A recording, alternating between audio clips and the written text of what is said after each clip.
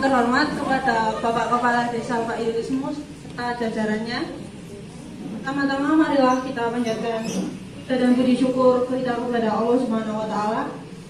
Mana pada, pagi, pagi hari ini kita dapat hadir dalam acara penyuluhan dan pembuatan sekroteng dan, dan tak lupa kita panjatkan ini saya mohon dan minta setelah nanti KKN, setelah nanti ada studi-studi kelanjutan, kami doakan adik-adik bisa sampai lulus, sampai bisa wisuda dan kita amalkan nanti ilmunya di masyarakat.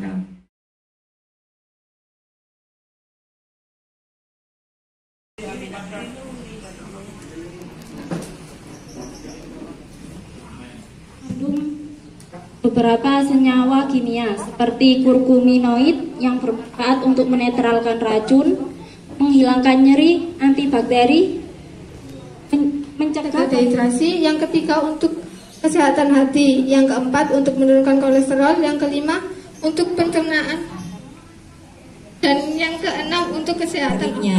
Kalau di aslinya itu ada ada berbagai macam tapi kan saya bikinnya yang instan jadi pakai buah kering pakai kacang lalu pakai jahe itu tadi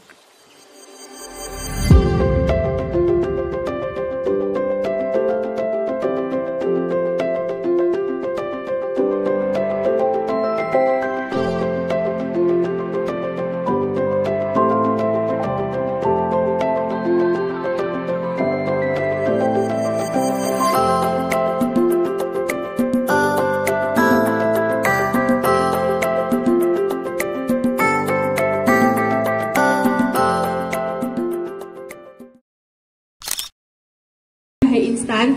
Dengan proses yang sudah disebutkan tadi dengan ditambah air kemudian dipanaskan uh, apakah proses tersebut juga bisa digunakan untuk membuat uh, kunyit kering? Kemungkinan bisa menggunakan jahe merah juga karena di sini kan jahe itu banyak macam jenisnya.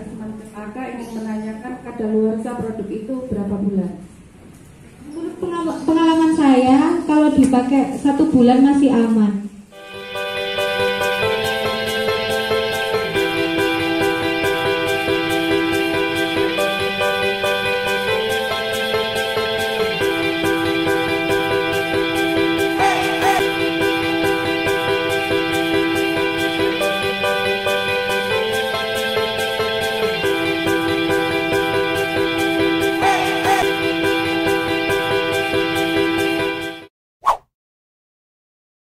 Hari ini kami berkumpul di sini dalam kegiatan penyuluhan pemanfaatan tanaman toga sekaligus penyuluhan pembuatan sekutu untuk memberi sumbangsi terbaik kepada bangsa ini. Karena ya Allah, lancarkanlah acara kami, berkahilah, penuhilah pertemuan ini dengan kebaikan dari awal hingga akhir.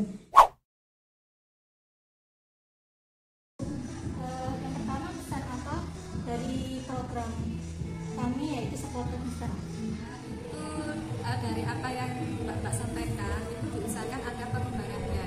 Seperti tadi ini kan dasarnya jahe. Nah sebelum pada pemanfaatan itu kan ada banyak jenis jahe seperti saya tanyakan tadi. Kalau yang ini fungsinya lebih ke sini, kalau yang jahe putih lebih ke sini. Jadi kalau dibuat variasi itu nanti hasilnya bagaimana? Itu maksudnya pengembangannya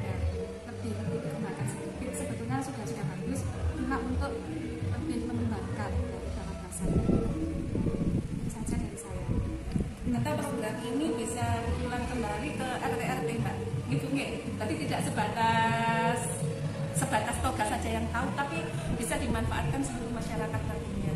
Paling tidak bisa digunakan dalam kehidupan sehari-hari daripada kita mengobati kan lebih baik mencegah. Pengenalannya kan ke sana gitu.